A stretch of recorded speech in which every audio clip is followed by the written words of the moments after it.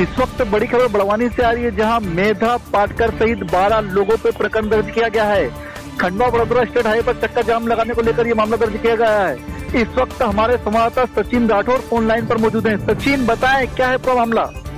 जी यद हम बता दें, आज सरदार सरोवर बाँध को लेकर जहाँ नरेंद्र मोदी अपना जन्मदिन मना रहे थे। उसी के चलते आज मेगा पाटकर ने धिक्कार दिवस मनाया है जिसको लेकर उन्होंने खंडवा बड़ौदा स्टेट हाईवे जाम किया था। उसी के चलते आज प्रशासन की तरफ़ से मेगा पाटकर सहित बारह लोगों पर मामला दर्ज हुआ है। किन धाराओं पर तहत मामला दर्ज हुआ सचिन कुछ मालूम पड़ा पड़ पाया?